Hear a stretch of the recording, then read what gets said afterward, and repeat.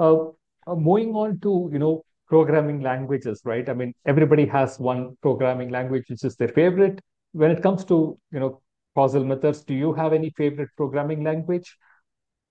Yeah, I mean, I so so so I'm an old dinosaur, and I would say like uh in my PhD and early like uh, uh work in the industry, I I used SAS a lot actually. Um and I mean, I think there would be a lot of, if there were any biostatisticians listening to this podcast, they would be thrilled. Um, but I think as I moved more towards, I think uh, my last job in quant finance and now in e-commerce, it's pretty much all Python. Understood. Yeah. Uh, I mean, I have talked to a lot of econometricians, and uh, Stata seems to be, you know, popular programming language as well for, you know, causal methods.